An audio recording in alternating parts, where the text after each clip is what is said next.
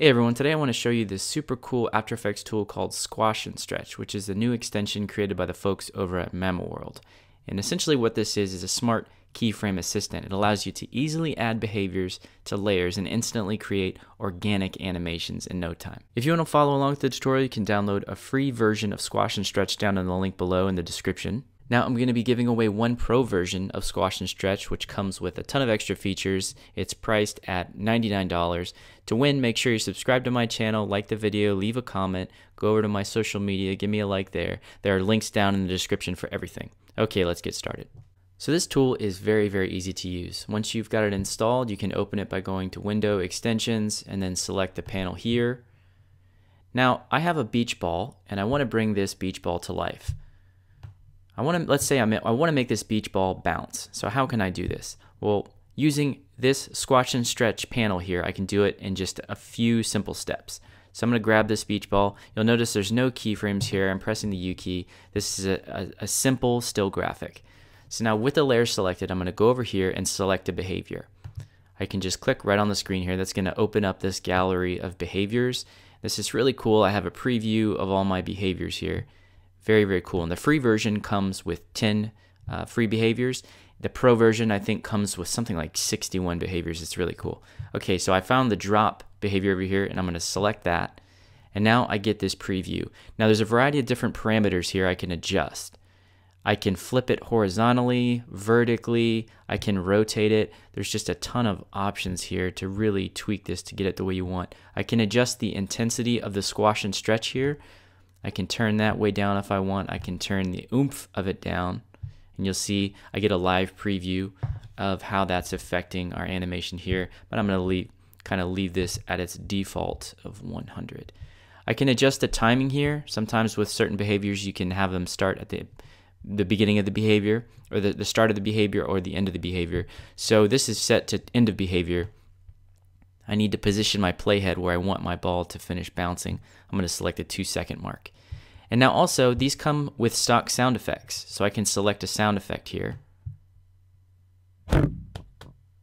And again, the Pro version is going to come with a lot of additional sound effects. So now I have my layer selected, I have my settings honed in here, and I'm going to select Apply. Now that's going to immediately apply our sound effects here and our animation. So as I scrub my playhead, you're to see that my ball is now having a drop behavior. So let's just play this back. Okay, very cool. Just like that, within a few, within two minutes, I applied this. Now let me grab this layer here, press the U key, and then full screen this. Now look at this. Imagine if I had hand keyframe this, how long that would have taken. Would have taken forever. So now this animation still needs a little bit of work and it's super easy. I can go quickly, add a motion blur. I can go down here and kind of reposition it by just grabbing these position keyframes, positioning this down so that it bounces, kind of lands right at the bottom of the frame. And now look, if we play this back, Okay, so that's how easy it is. Let me give you one other really quick example. So let's say I'm working on this fictional project for the 24 Hours of Le Mans race in France. I have this title graphic here, then I have a simple little car graphic. This Again, this is a still image graphic. So now how can I quickly bring this to life?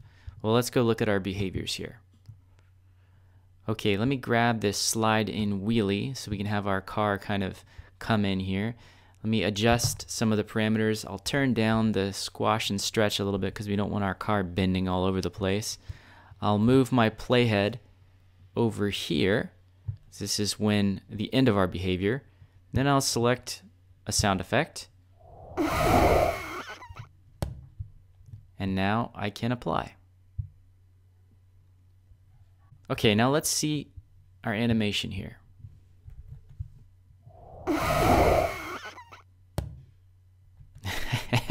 Just like that, we've created a quick little car coming in. Now let me, let's add some motion blur, see how it looks now.